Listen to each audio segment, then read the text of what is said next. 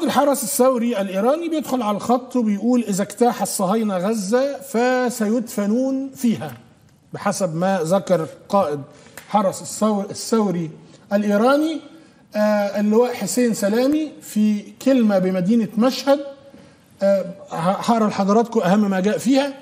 قال إذا أقدم الصهاينة على هجوم بري في غزة فسيدفنون فيها.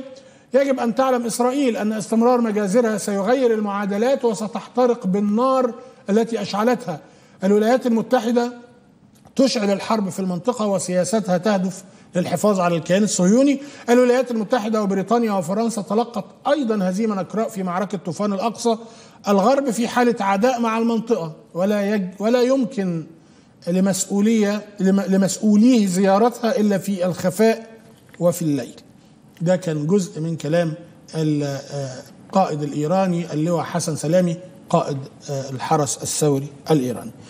الصين وروسيا الصين وروسيا تستخدمان الفيتو الفيتو ضد قرار أمريكي حول الحرب على غزة في مجلس الأمن. بكين يجب مراعاة مخاوف الفلسطينيين. أيضا ده كلام الصينيين إنه يجب أن يكون هناك مراعاة للمواطن الفلسطيني ويوضع في الاعتبار أن له تخوفات وأن له احتياجات وأن له أرض يجب أن يكون موجود عليها.